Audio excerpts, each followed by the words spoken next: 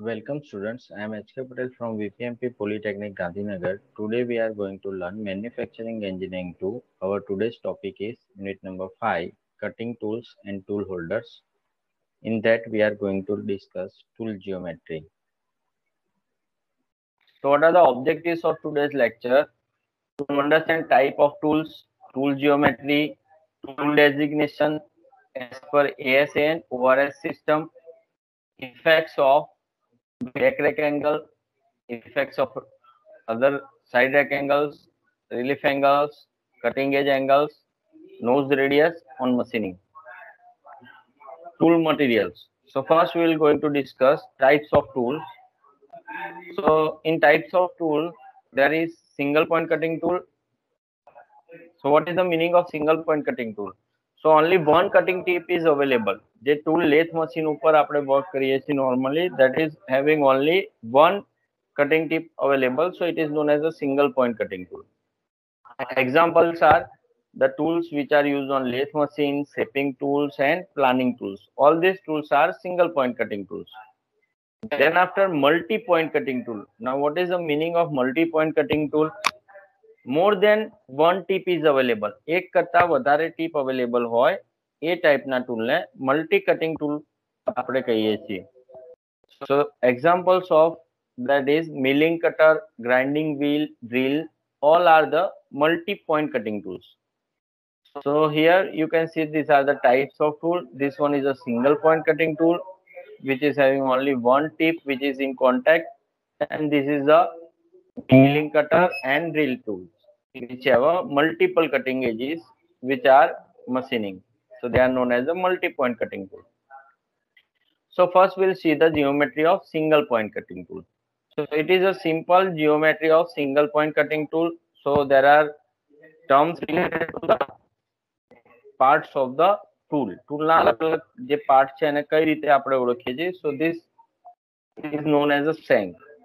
So shank જે છે by this shank the tool is fitted on the tool holder. This one is a base નીચેનો જે portion છે that surface is known as a base this surface is known as a face આ ઉપરની જે surface છે that is known as a face this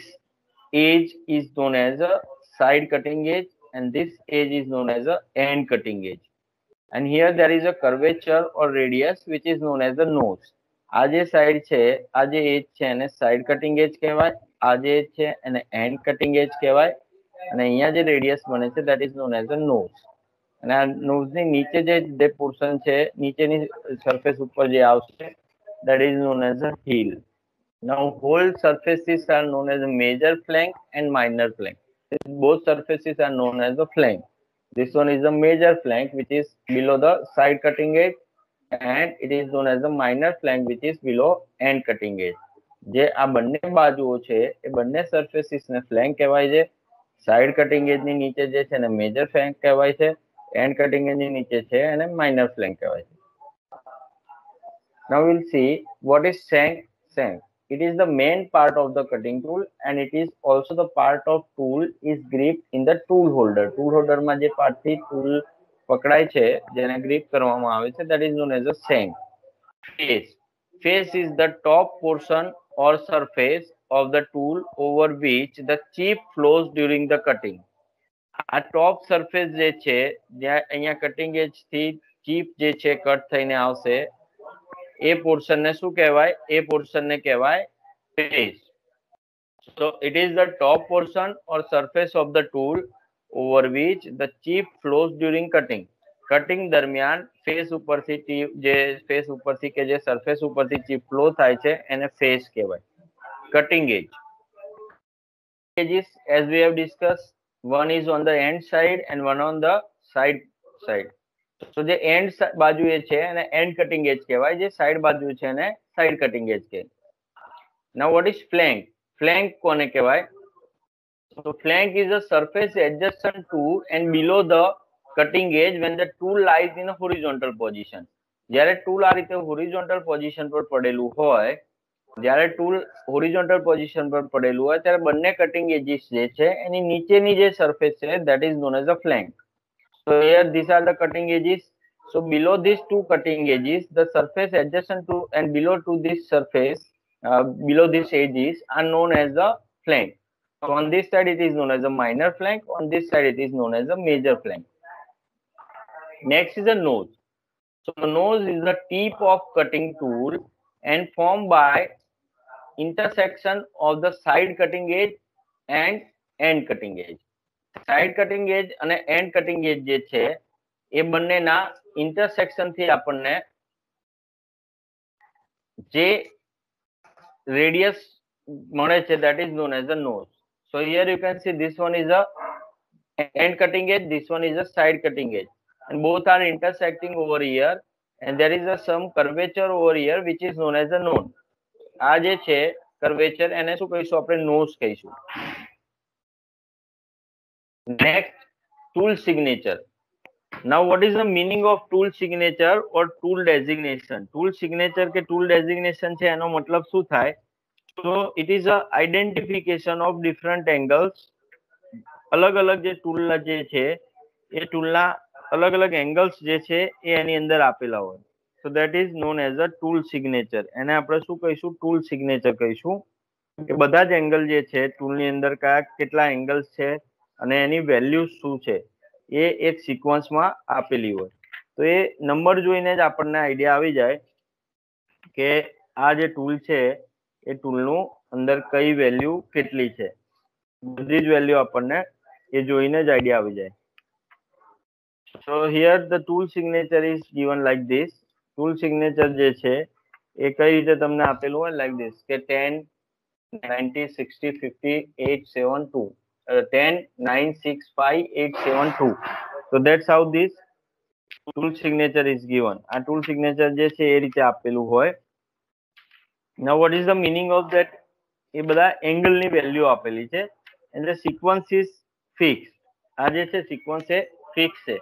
so it is a 10 degree 9 degree 6 degree 5 degree 8 degree and 7 degree these are not the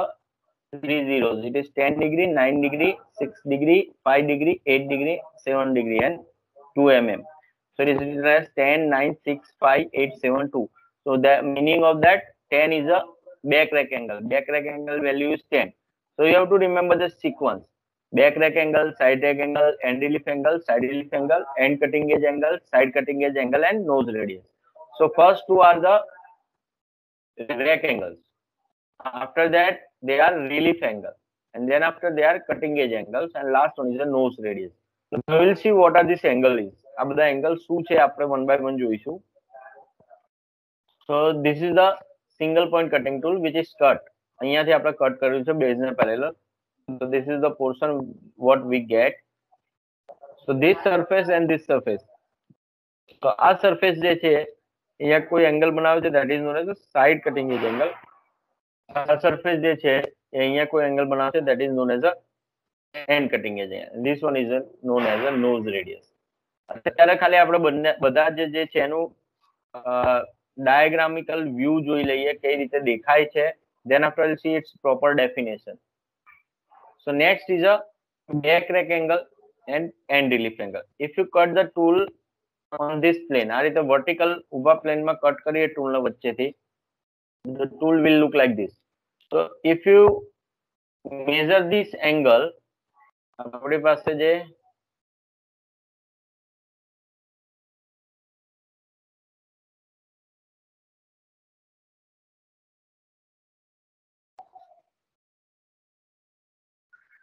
Okay, so here if you see the angle between this inclination of this face, આ જે face છે એનું inclination તમે જુઓ that angle is known as a back rack angle. And if you goes down here and if you measure the angle with the vertical surface, અહીંયા સીધું vertical surface સાથે જો એનો angle measure કરો that will be end relief angle. તો એને શું કહીશું આપણે end relief angle કહીશું. Now here you can see other two angles બીજા બે angles આમાં દેખાશે if you cut this tool flank in this plane આ રીતના plane માં આપણે કટ કરીએ તો આ આપણી પાસે જે shape આવ્યો here if you measure the angle of this inclination with this plane then it will be side rack angle if you measure the angle of this line with the vertical line then it will be side relief angle now we'll see one by one what are the different angles. So we have seen there are two angles, two rack angles, back rack angle and side rack angle. Now what is the meaning of back rack angle? So back rack angle, it measures the downward slope of the top surface of the tool from the nose to rail along the z axis. એટલે શું કહેવા માંગે છે કે આ tool જે છે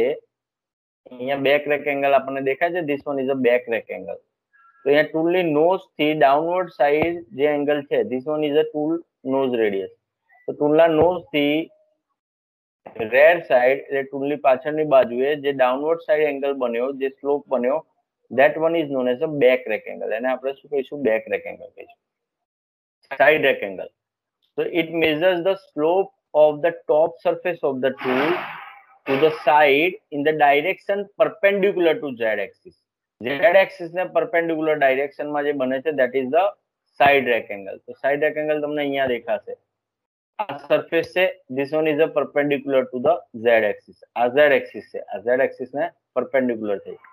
તો આ જે એજ છે એનો આ ડાયરેક્શનમાં જે સ્લોપ બન્યો અહીંયા દેખાય છે આ એજ છે cutting edge so the slope of this cutting edge or the top surface in the direction perpendicular to z axis that one is known as a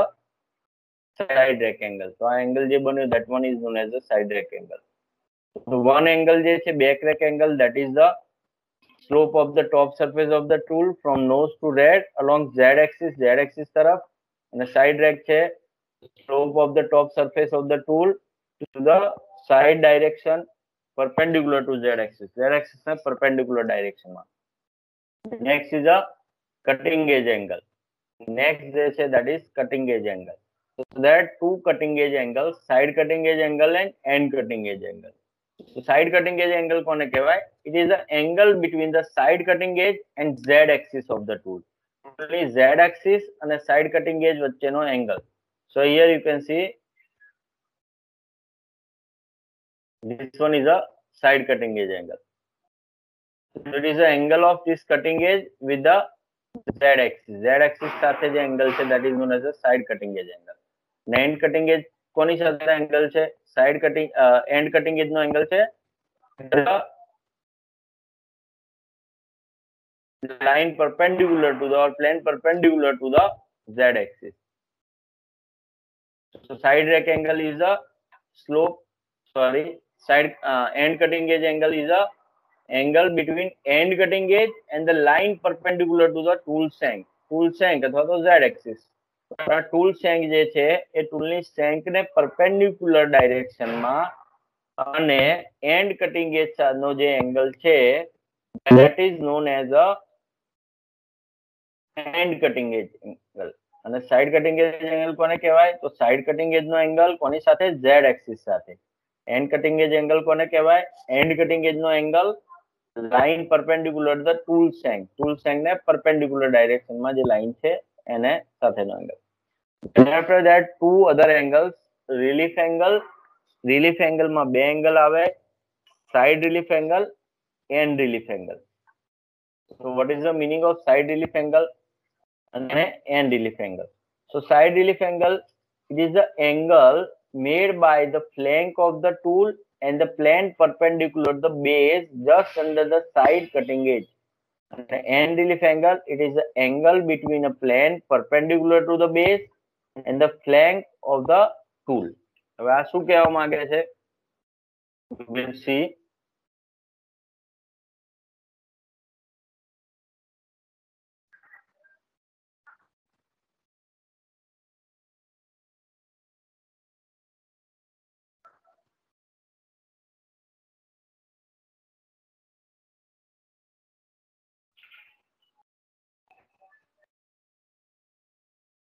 Okay, so relief angles. So how we can see the relief angles? So for example, this is our job. This one is our job which is fitted on the spindle. Spindle upar a job fit karelo. Now we have our tool over here. This one is our tool. there are two edges of the tool. One is a hand cutting, one is a side cutting edge. So this one is our tool, this one is the workpiece. Now what is the meaning of relief angle? So this, if this surface is a flat, then tool will strike over here. Tool અહીંયા ઘસાશે. જો surface flat હશે તો આ tool શું થશે અહીંયા ઘસાશે. So એ tool ના ઘસાય એના માટે this plane of this plane or this surface is inclined. તો અહીંયા તમે જોશો આ tool આપણું જે છે so this surface is not a straight or this surface is also not a straight they are having some angle તો એ બે એંગલ છે that is known as a relief angle તો અહીંયા તમને દેખાશે એક relief angle જે છે end relief angle અહીંયા દેખાય છે this surface is not straight આ surface જે છે એ આમ straight નથી આ રીતની straight નથી if this surface is straight the tool tip is not only tool, tool tip will not touch whole surface will touch to the workpiece તો અહીંયા આપણે inclination આપેલું છે that inclination is known as a end relief angle similarly side relief angle કોને કહેવાય so here you can see this one is a side relief angle this surface now this surface is also can also be straight like this અહીંયા જે tool straight છે એ રીતે આ સરફેસમાં straight હોઈ શકે પણ નથી ઇટ ઇઝ ઇન્ક્લાઇન્ડ એ સરફેસ આમ સ્ટ્રેટ નથી it is not straight like this આ રીતની નથી it is inclined it is inclined at some angle so that this whole surface will not touch to the workpiece and they are known as a relief angle તો એને શું કહીશું આપણે relief angle કહીશું so now we have seen all the angles now there are sometimes on CNC machines or where we want mass production we are using the inserts આપણે tool જે છે એ ટૂલના ભાગ આગળના ભાગમાં આ રીતે ઇન્સર્ટ યુઝ થાય whenever the tip of the tool is what we can say whenever the tip of tool is break or we are worn out what we have to do we have to regrind the tool આપણે normal tool હોય તો આ ટૂલની જે tip છે આ tip ઘસાઈ જાય તો આપણે શું કરવું પડે we have to regrind it so it will take some time you have to remove the tool from the tool post you have to take it to the grinding wheel તમારે tool એને remove કરવું પડે grinding wheel સુધી લઈ જવું પડે grinding wheel ઉપર એને grind કરીને proper angle બનાવ્યા પછી use કરો so that will waste your time so instead of that we can use the inserts આ રીતની insert use થાય તો inserts are the of different shapes અલગ અલગ shape ની insert આવે અલગ અલગ type ની inserts આવે તો ઇન્સર્ટ નો ફાયદો શું થાય કે આખું ટૂલ જે છે કોસ્ટલિયર મટીરિયલ માંથી એક તો બનાવવું ના પડે કટિંગ ટૂલ મટીરિયલ જે છે એમાંથી ઇન્સર્ટ બનેલી હોય બાકી tool holder can be made from any material પેલામાં આખું ટૂલ તમારું એચએસએસ કે એમાંથી બનાવેલું હોય તો ઇટ વિલ કોસ્ટલિયર આમાં જે છે tool holder can be made from any material and this carbide insert use that can be made from the cutting tool material so inserts are available various locking mechanism અલગ અલગ locking mechanism હોય one is a clamp so આ રીતે clamp screw દ્વારા clamp કરેલી હોય insert ને so it is the preferred method because after one cutting edge is worn it is index or rotate અને એક cutting edge અહીંયા ઘસાઈ જાય તો એને આપણે રોટેટ કરી શકીએ છીએ. So that another edge can be use કે જેનાથી આપણે બીજી એજ યુઝ કરી શકીએ. Second is a wing lock pin so આ રીતની લોક પિન યુઝ થયેલી હોય, જે ઇન્સર્ટ ના સીટ ઉપર ફિટ કરી દે. Third is a braze braze એટલે એને બ્રેઝિંગ કરીને આની ઉપર ટૂલના સેન્ક ઉપર બ્રેઝિંગ કરીને ફિટ કરેલી હોય. So it is less frequently use because the difference in thermal expansion between the insert and tool shank material આ ઓછું યુઝ થાય છે. આ ટાઈપની જે છે વધારે યુઝ થાય છે. Okay so next lecture will see effects of different angles on machining આપણે નેક્સ્ટ લેક્ચરમાં જોઈશું અલગ અલગ જે ટૂલ છે એ ટૂલના એંગલ્સ જોયા. એ દરેક એંગલ્સની મશીનિંગ ઉપર શું અસર થાય છે. So in today's lecture, we have discussed geometry of single point cutting tool. We will discuss effects of different angles on the single point cutting tool and its machining process in the next lecture. Thank you.